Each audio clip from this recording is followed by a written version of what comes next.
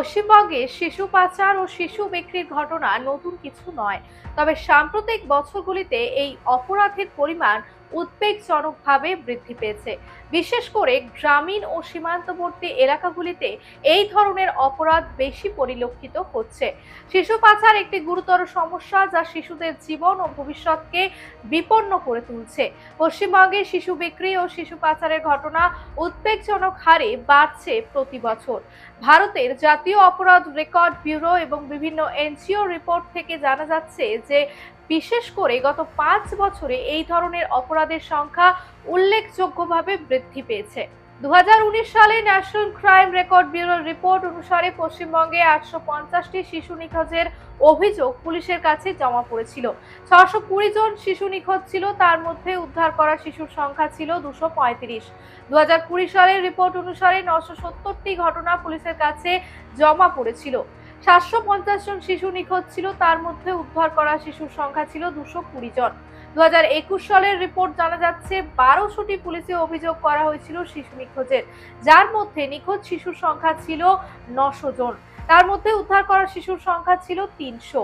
দু সালের রিপোর্ট অনুযায়ী তেরোশো পঞ্চাশটি এমন ঘটনার অভিযোগ পুলিশের কাছে জমা পড়েছিল। এক হাজার কুড়িটি শিশুর নিখোঁজ ছিল, তার মধ্যে উদ্ধার করা সম্ভব হয়েছিল তিনশো তিরিশ জনকে। দু সালের প্রথম ছয় মাসের রিপোর্ট অনুসারে সাতশো পঞ্চাশটি ঘটনা পুলিশের কাছে জমা পড়েছিল। আটশো আশি জন শিশু নিখোঁজ ছিল, তার মধ্যে উদ্ধার করা সম্ভব হয়েছিল দুশো কুড়ি জন শিশুকে। রিপোর্ট অনুসারে দু হাজার উনিশ থেকে দু হাজার তেইশ পর্যন্ত পাচারের ঘটনা ক্রমাগত বেড়েছে।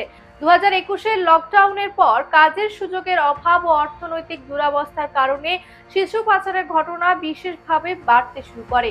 পুলিশ ও প্রশাসনের তৎপরতায় প্রতি বছরই বেশ কিছু শিশু উদ্ধার করা সম্ভব হয়, তবে বেশিরভাগই এখনও নিখোঁজ।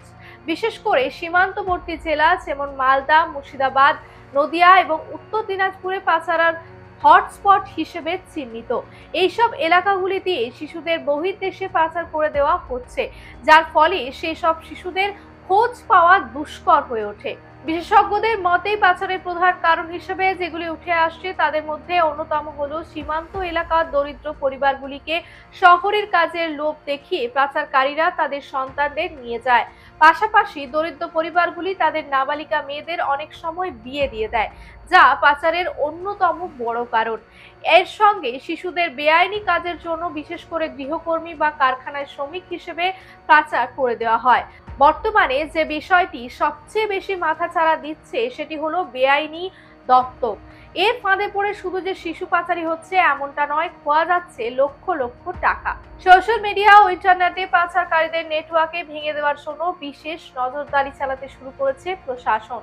পশ্চিমবঙ্গ শিশু পাচার ও বিক্রির ঘটনা কমাতে প্রশাসনের পাশাপাশি সাধারণ মানুষকে সচেতন করতে এনসিওর ভূমিকাও তাৎপর্যপূর্ণ। তবে পাচারের ঘটনা বন্ধ করতে হলে দরিদ্র পরিবারের জন্য বিকল্প জীবিকা ও নিরাপদ পরিবেশ গড়ে তোলার প্রয়োজন বলেই মত বিশেষজ্ঞদের।